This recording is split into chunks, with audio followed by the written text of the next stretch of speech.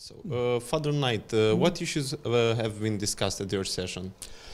Well, in the session that I was chairing, they fell, into two categories, which has been true also of the other science and theology uh, sessions that we've had in this conference. On the one hand, there were questions that were very practical, related to questions of ecology, sustainability, and that sort of thing. Um, and obviously, those had a knock on effect in terms of Christian spirituality generally and asking about you know, how we as Orthodox Christians should be living in the world.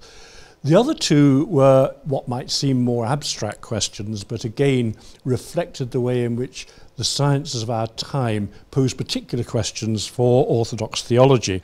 Um, one of them was the whole sort of question of how we think about the fall, and particularly how the fall relates to the world in which we now live, particularly when, from a scientific and evolutionary perspective, it's very difficult to see the fall as something that has happened simply as a historical thing in the past.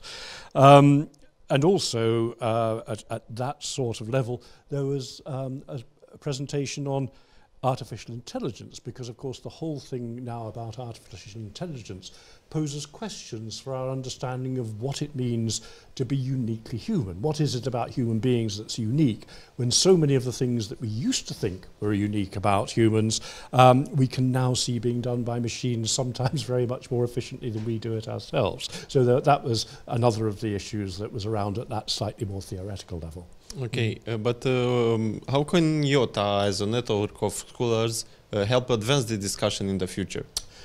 Well, I think the important thing is that there are quite a number of people now in the Orthodox Church who have a good insight into the sciences and the sorts of questions that are arising from the sciences, and um, are also aware of Orthodox theology and can use some of the traditional resources of the Orthodox theology to do that. So that what we've been doing within this conference is very similar, for example, to what's has been done over the last three years in a project based in Athens called Science and Orthodoxy in the World, which again has tried to get together scholars with that dual interest in the sciences and in theology and in the way that they interact.